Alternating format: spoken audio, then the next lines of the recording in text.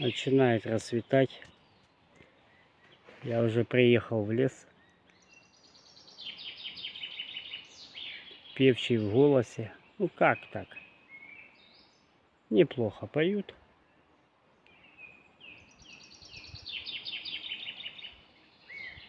Сейчас солнце встанет, теплее будет. С утра плюс 8. Днем обещают более-менее. Значит, муравьи будут таскать яйцо. Если бы меньше температура была без подъема, я бы не пошел. Муравьиное яйцо они бы не таскали. Поет.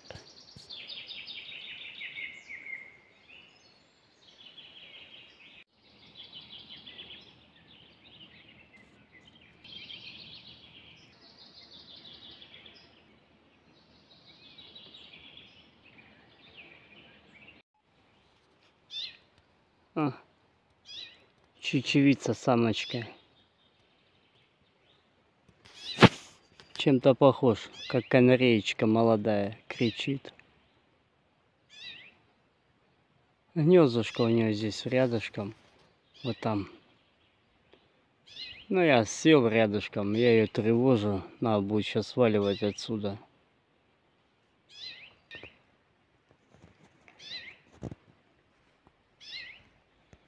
Пускай пока покричит, мы пока чайку выпьем за немножко.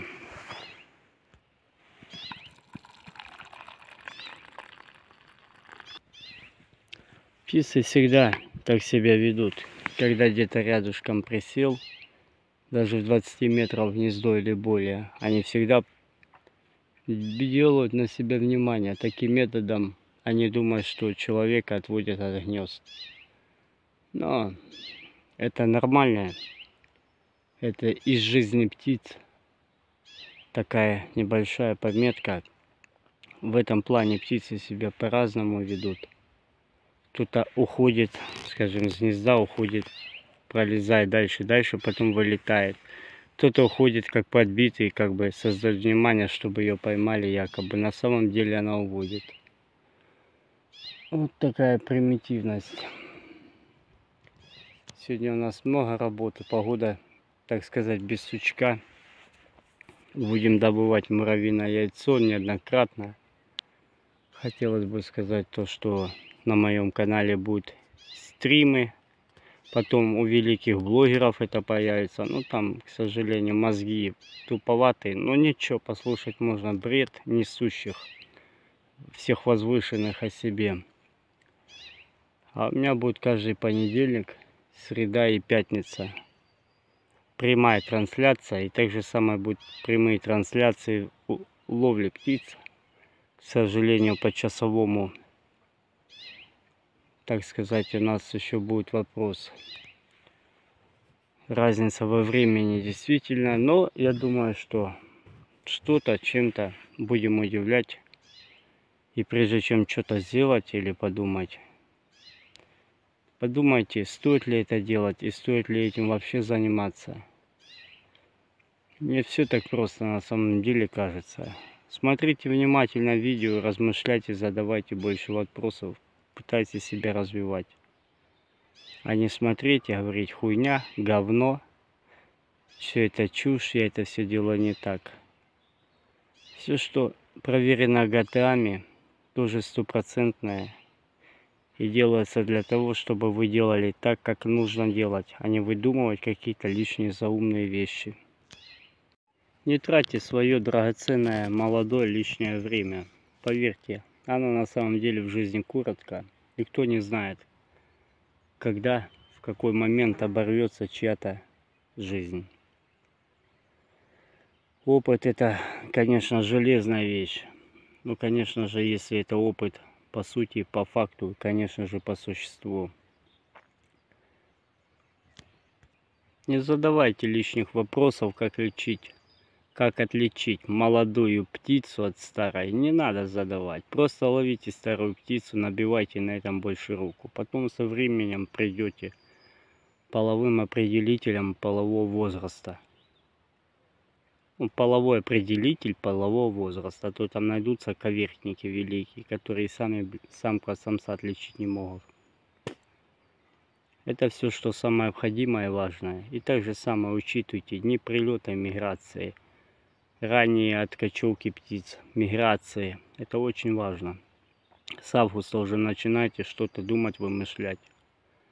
Как пойдет красная бузина, уже можно что-то будет подлавливать. Как пойдет черная бузина, так уже можно будет стоять актуально на славковых и так далее и тому подобное. Пересматривайте многие видео, полезные вещи.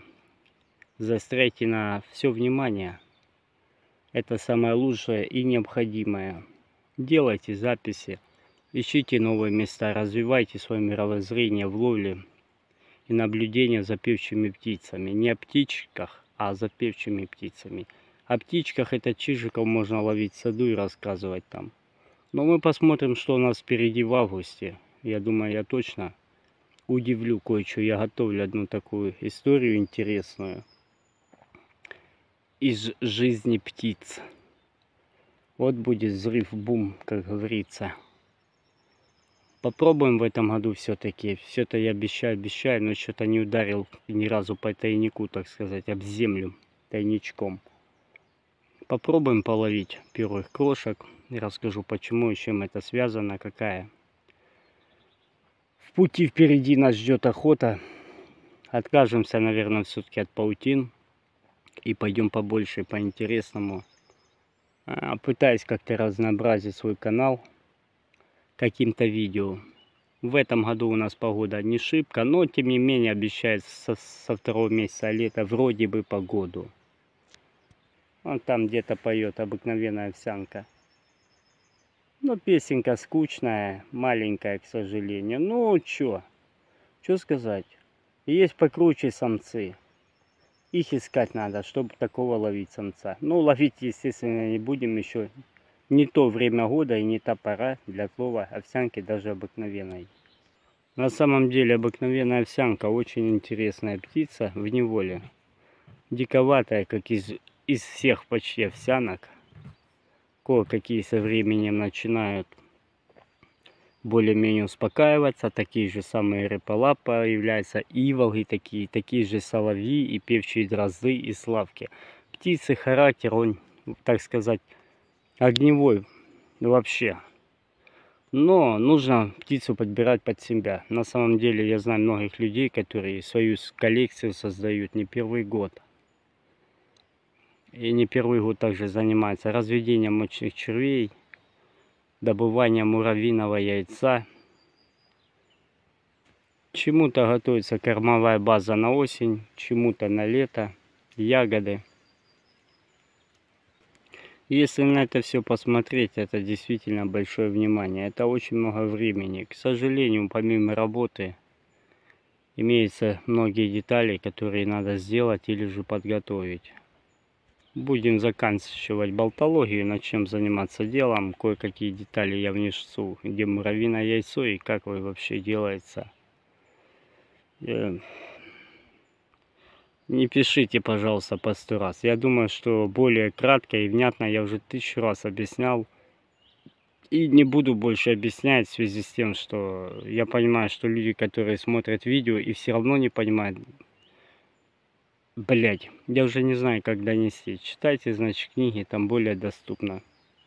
Если бывает по видео непонятно, я не знаю, как на пальцах что ли объяснять. Но я считаю, что это глупости в обязательном порядке. Вот я пользуюсь, ну, можно без рекламы, она тут не обосралась. Многие знают, что это такое.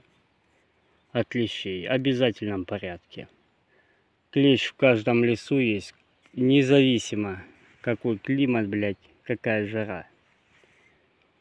Это мне лет 12 назад, в 2010 году, подсказал Дима Охотник.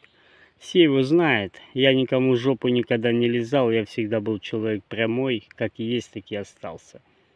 Просто как-то мы с ним созвонились. Блять, клещ меня просто заебал. Ой, так возьми. Рифтомид и все, говорит. Проблем нет. А это самое надежное. Вот за это ему спасибо, вот за такое. Хотелось бы сказать по поводу паутинных сетей его. Мне никто не платит. Мне никто ничего просто на халяву не дает. Я возьму просто этого человека паутиную сеть. И на самом деле в один период времени половлю на нее. И мы посмотрим настоящий честный обзор. Без всяких сказок, без всяких вот этих корректирований. А будем ловить прямой трансляции. И я расскажу, чего эта сетка достойна. И почему ее недолюбливают или хаят. Есть много массы ошибок, независимо от сетки. И еще раз повторюсь, я жопу никому не лежу. Мы с ним общаемся, привет, как дела, здрасте, здорово. Все, ничего личного, но мы знаем друг друга. Никто ни на кого бочку не гонит. Жопу никому не лежу, мне никто не дает паутины, чтобы я создавал бесплатную рекламу. На самом деле, если человек достойный этого, я возьму паутину, блядь, и сделаю на нее выход, как я на нее ловил. И скажу от какого человека. Я считаю, что это будет честно и целесообразно. Также самое сайт птицелов. Будет одна паутинная сеть от Володи, которую я приобрету за бабки и половим на нее. И на самом деле, ну, мой первый опыт, я скажу так, что э, Димы паутинные сети довольно неплохие. Во-первых, можно любую сетку ушатать, разъебать в любом кусту или на кусте. И также ее ушатать в любом кульке. Как и Володину, так и Димину. Третьего человека я не буду говорить, потому что это смешно, это бредятина. Вот. А, и не только третий. Я знаю многих, кто продает реальные хорошие сети. А, Мое мнение будет краткое и четко понятно. Довольно неплохие у Димы сети. Но я не тот человек, который кому-то жопу лизал. Э, я не настолько воспитан, чтобы мне кто-то что-то дал и я хвалил. Никогда. Если сеть этого достойна внимания, я скажу, что да, ебать, ей можно поймать. И я ей много ловил. И расскажу почему. И как я с ней обращался. Она тонкая, она прочная, просто не надо ее ушатывать и забивать на нее. Она ловит неплохо. Это не реклама, это мой чисто, так сказать, флоу слова и мысли мои. Я не люблю одного, второго хвалить, пятого, десятого. Для меня нет той сети, блядь, которую я не поймаю. Вот и все. Все зависит от твоего опыта. А снасть слова это уже вторично. Даже говеным крылом можно поймать очень много птиц. И поверьте, это такие есть какая бы она там ни была, ультра тонкая, скажем, у меня. Мои сети это мои сети. Мои сети не у каждого есть, и слава богу. Димы, ну, я знаю, у многих есть. Кстати, недавно я переделал. На канале интересно выйдет, как я и переделал. Но ничего. И взял рабочую. К сожалению, тот материал, который у меня не сохранился, в памяти я, блядь, все потом постирал у себя на ноутбуке. Ну да ладно. И будет интересно. Березовые леса. Сука, вот так заходишь в них, красотища. Знаете, как заходишь, так смотришь, как военный фильм, помните вот это, воспоминания, там что-нибудь. Одиночки стоят, а тут целые, целые тысячи кубов.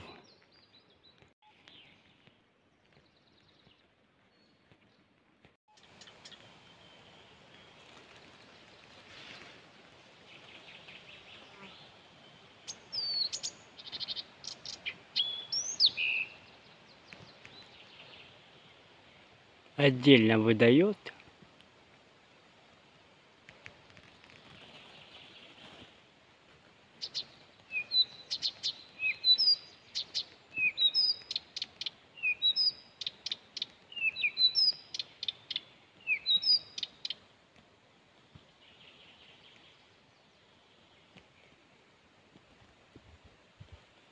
Ничего такого сложного, но садовая камышовка.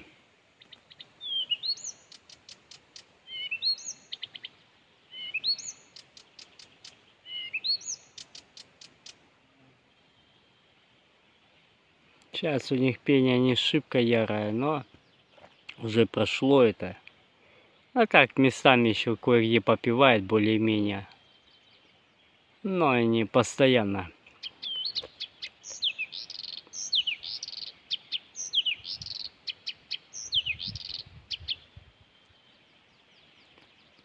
Большие паузы, к сожалению, делает. Но поет. Так, посидеть, кофе попить, послушать. Чай, то есть. Что оно хоть вообще изображает. Я понимаю, что видео смотрят. Ой, говно, блядь, я лучше. Так уже сезон гнезда, блядь. Они уже не так шибко поют и не разнообразно. Так что лучше рот там заткните. Это будет правильно и честно зато. А то я слышал лучше, круче. Вот это не пролезет. Птица на гнезде. Как таковое пение нечасто. Это не зяблик, который будет сидеть на ветке ебашить одно и то же целый день. Вот глубина леса, глушина вообще. Ну, мне дальше идти. О, лось лежит. Тушка. Огромный, бля. Копыта, пожалуйста. Лежит. Вот так бывает. Либо вальнули, убежал, когда зимой, или когда его хрен его знает. Сам прикол. Ну, уже не так воняет, уже все съедено. Вот так. И рога маленькие. Такой пиздец. Газ, пожалуйста, все дела, бедра. Фу, блядь, ужас в этом смешанном лесу, это в 2012 году, я нашел два гнезда римы овсянки. А сейчас так ради интереса, просто вот прохожу, мне надо. Тут машина нереально, тут такая вот, фу, блядь, дорога, по которой действительно хрен проедешь. Мелколесье, дальше больше. Ну, километра 4, наверное, пешком через него идти. Это все такая лесная посадка. Но я скажу, что белых нет, красноголовиков тоже и бабков тоже. Хотя в одном месте ради интереса находил вот немножко так. Так, попадаются сыроежки иногда. И иногда эти самые, как их называют, господи, маслята. А такие места вообще крученные. Тут птицы проход был сильный. Ну он есть, я тут давно не ловлю, но знаю, тут места хорошие. Тут вообще мощно по птице было. В моей жизни много интересных ситуаций было, случалось. Там заказывали меня, блядь. Еще один тут есть такой же заказчик великий. Но потом расскажу за него. Более конструктивного диалога. Ну пока процесс кипит яйцо тягается. Но, как обычно. Значит, как-то у меня тут один барыга такой заказал яйцо. Короче, я ему сделал что-то 17 килограмм, по-моему. Это было в 2018 году. Он молчал, молчал такой, типа, говорит, блин, Ярослав, если у тебя яйцо не будут покупать, а почем ты говорит, продавал? Я по 800 рублей. 700-800, ну, плюс-минус сотку кидал. Ага. Он говорит, ну, Бог тебе э, здоровья, все дела. В Бога верит. Сам в Бога верит, как блаженный, ей-богу. А потом, говорит, если что, говорит, не будут покупать, я у тебя по 400 рублей готов буду забирать любым весом. Ты же сам понимаешь, сейчас с деньгами у людей трудно. А если что, говорит, я тебе обязательно в этом плане помогу, если надо. Я говорю, слушай ты, гандон, блядь. Это яйцо, сука, годами готово, как сало в морозильнике лежать. А ты, я говорю, иди-ка ты, хороший мой человек, нахуй. С твоими сказками и подсказками. Ты что, говорю, думаешь? Я не знал, что ты, блядь, ждешь сцену, когда по рублю или по полторашке оно будет, и ты начнешь в тихушку его скидывать. Вот такой случай у меня был. А второй случай был, когда я чистое яйцо человеку отдал. Ну там 3 килограмма такие по весу, по килушке. Ну птицам кормить на, говори, покормишь. Она у него хуяк пропадает. Не знаю, что там с морозильной камерой у него было. Короче, пропала. А мне звонит, говорит, и я, говорит, яйцо это выбросил. У меня птица его не ест вообще никакая. Хотя у него клисты, щеглы, славки, вся, всякая, всякая птица. У него птица якобы не ела. На самом деле у него холодильник поднакрылся. И яйцо, короче, напросто преть начало. Ну, температура не морозит, в общем. Потом говорит, ну, если хочешь, я у тебя, говорит, по 300 рублей могу купить, чтобы не было обидно. Я ему, блядь, дал 3 килограмма бесплатно, а он мне тут по 300 рублей. Я говорю, слушай, Юра, да ты совсем уже охуел, я смотрю. Может тебе по 100 рублей, блядь, его вообще рыть, а? Ну, конечно, цена дорогая, но люди говорят, что очень дорого. Блядь, не нравится, не бери. А хотя, по сути, ты знаешь, говорю, на базаре два человека, покупатель и продавец. Вот и все. Ну, это немного из личного, но я все равно поделюсь. Как я столкнулся с первым наглым барыгой, блядь. Не барыга, а хитро выебанный дядечкой. Короче, поехал я ловить щеглов. Ну, мы с ним иногда частенько так подлавливали. Он такой, ой, Ярослав, говорит, нужны хорошие бы щеглы. Но если там будет парочка, оставь там, ну, две от силы. Я говорю, да, говно вопрос, говорю, будет оставлю. Короче, попал я на проход. Ну, поймал, сука, наверное, штук 40, а может больше. Ну, неплохие щеглы, там, может, пяток, десяток можно что-то выбрать. Звоню ему, лучше не сказать имя, потому что может послушать и сказать, это ты гандон. Я знаю, что я гандон. Вот. И, короче говоря, я ему приношу, привожу этих щеглов в садочки, все аккуратненькие, они едят уже, все. Он такой, бля, хорошие щеглы, если что, ты держать будешь. Я говорю, да они мне нахуй не нужны. Он, ну давай я тогда их, я говорю, нахуй тебе не нужны. Так я это самое, пацанам, мужикам раздам. Думаю, ну ладно, хуй с тобой, раздавай. Мне-то что, их солить что ли? Короче, забрал он щеглов, я не знаю, где они делись. Потом я еще раз, наверное, через неделю три еду ловить, попадаю на... Ну, щеглы, проход идет, щегол ловится неплохой, яркий, в цвете, такой крупненький. Там линейкой мерять не буду, я этой херней не занимаюсь. Хуяк, он звонит, как, как знал. Здорово, я здорово. А ну что ты, гадал на ловле? Бля, конечно, неплохой щегол. Я говорю, да ну так, помаленьку есть. Что-то оставлю, говорю, я принесу, если надо. Ну, ну давай, типа. Я, я ждал боеба кусок, беру, блядь. Наострил уже, музыку поставил, щегла выставил, блядь. Начал щеглом отлавливаться. Хотя мне нахер не нужен. Ну, дело прошлого. Короче говоря, половил я щеглов, принес ему эту банду, блядь, этих щеглов. Он такой, блядь, говорит, ну сегодня, в принципе, неплохой щегол. Ну, конечно, этот хуевастенький, но я себе оставлю. А чё ж ты не мог лучше наловить? Я слышь, ты, мудак, блядь. Ты жопу свою поднял, говорю. И пиздуй ловить с этих щеглов сраных. Вообще-то, говорю, я на них не особо стоял. Я стоял, говорю, ну же октябрь был, конец октября. Мне там один Рюмов заказывал. Вот, лапланцы там что-то были такое. И такое недовольство начал проявлять. Я говорю, вы, говорю, с быдла, говорю, совсем уже в страх потеряли. Вам, козлам, щеглов даешь? Бесплатно, сука. Ты сидишь дома, жопу греешь, а потом смотришь на сайте этот Авито, блядь, полтора рубля. Думаю, ах ты, сучара конченая. И такие даже бывают случаи. Думаю, ну, блядь, мудак старый. Так что имейте совесть, никому никогда не давайте на халяву птиц. Никогда. Быть сукой возьмите и продайте. Но никогда не давайте, потому что ваш труд никогда не оценят.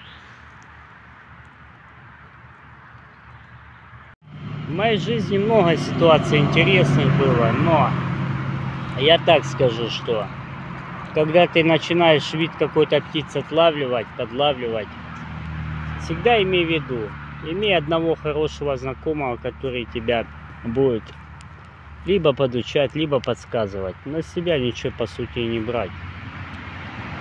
Возможно, он в тебе видит какого-то начинающего крепкого любителя. Как говорится, дураку всегда везет, да, как правило, начинающего. О, дурак, типа, а налавливает всего. Когда вы что-то наловите, держите свои уши востро и смотрите во все во внимание. Что к чему и как ведет. Это хорошее дело на будущее, да и вообще. А так, если рассказывать, я думаю, точно ни один видеообзор хватит этих приколюжек всяких. Вот. Много интересного было из-за красношеек, из-за щеглов, из-за чижей. Сейчас яйцо чуть-чуть подвыбирается, потом еще раз накину. Мусор отгребу в сторону во избежание того, чтобы муравья было поболее. И дальше будем рыть процесс. По чуть-чуть местами расстояние большое между муравейниками. Ну, чтобы долго они не лежали в мешке, сразу по месту небольшую ткань раскидываем. Выбрали и дальше идем. Сегодня погода хорошая, можно целый день рыть. Так как три дня дождь был, сейчас вроде плюс 20, можно рыть. Стал на обочине там трассы тут небольшой. И спокойно вырываем дальше муравьиное яйцо. Процесс идет, он собирается там. Отлично. В процессе дела у нас осталось немного яйца, может стаканов 5 от силы. Будем дальше переходить. Яйцо сейчас выберется все. И дальше будем делать. Яйцо тягается, все. Мусора фактически нет. Ну, камушка там какая-нибудь, палочка крупная. То, которое сито нижнее не пропускает. Ну, все-таки собираем по чуть-чуть. Конечно, со сменами мест, но тем не менее процесс идет. Все хорошо, можно спокойно чай погонять. И будем двигаться, шевелиться, что-то дальше снимать. Зяблики орут вовсю, и волги вообще молчат. Да, слетки сейчас, птенцы, сейчас яйца, кладки. Процесс идет у птицы размножения, у нас сбор муравьиного яйца. Я думаю, всем, кому полезно естественно, что-то пригодится в этом плане. Если в ваших муравейниках, где вы роете, встречается крупный, мелкий муравей, не надо сортировать, все в один мешок. Просеяли, раз, подвели, все сделали в мешок, посеяли в мешок. Так каждый муравейник, тот, который идет складкой. И все потом на ткани, в общем, муравей начинает здесь собирать. Как и мелкий, как и крупный. Процесс идет полным ходом. Так сказать, работа кипит, а вы чисто сидите, чай пьете там, в инете сидите. Ну, то есть связи нет, тут вообще жопа в этом плане. Но, тем не менее, все нормально. Добьем и дальше пойдем что-то по существу, может, что-то как-то и сниму. Тут процесс это такой, где когда как долгий, где когда быстрый. Но все идет пока так, как должно быть. На солнце не надо муравья. Вот теневая местность такая, тенечек. Не шибко, теневая. И все. Если на солнце муравей быстрее, а потом изматывает его нахрен, он вообще перестает таскать. Это то, что не стоило делать и вообще. Ой, что-то они между собой тут делают.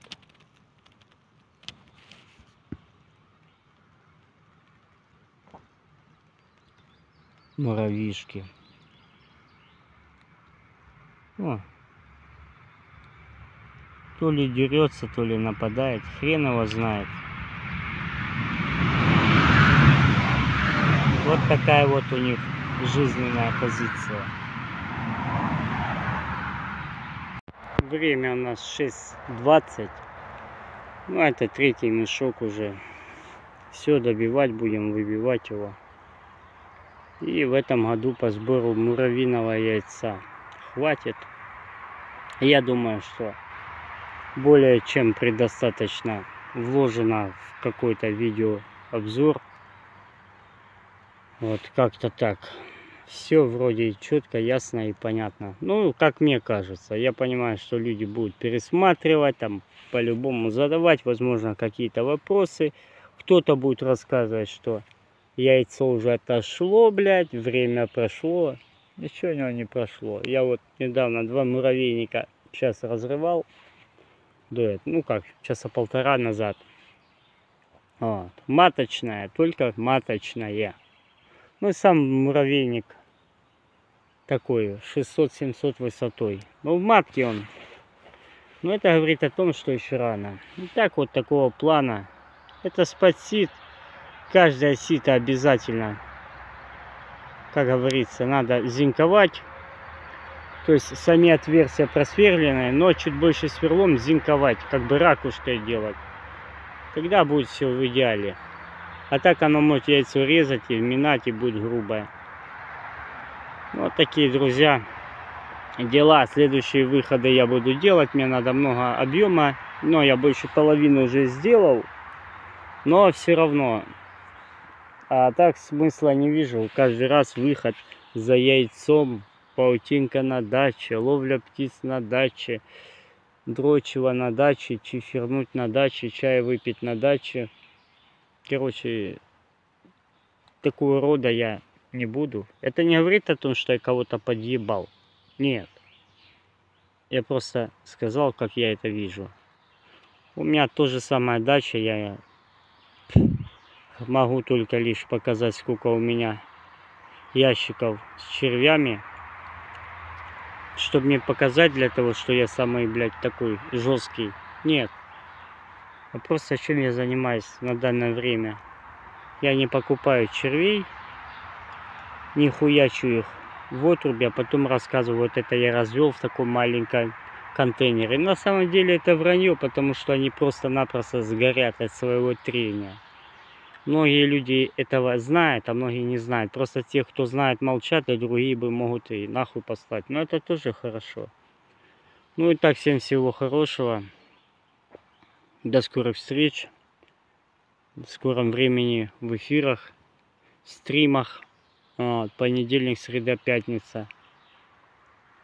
Там под вечер ближе. Ну и будем общаться, знакомиться подъебывать меня кто-то будет. Но я быстро рот закрою, я не умею долго разговаривать, диалоги вести, потому что уже довольно пора уже быть чуть-чуть более жестче ко всему, но многих понять и простить тоже не стоит.